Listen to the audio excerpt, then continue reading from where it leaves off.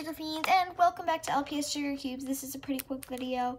I'm just saying that I'm going to be doing a future Q&A, so I would love it if you guys could comment some questions down below in the comment section. But obviously, if the comments are turned off, you can always comment questions on videos where you know the comments are turned on. I would really, really appreciate it. The only rule about this is that you cannot ask any personal questions like where I live, how old I am, my whole name, all that kind of stuff. So I hope you guys ask some questions and I'll see you in my Q&A. Bye!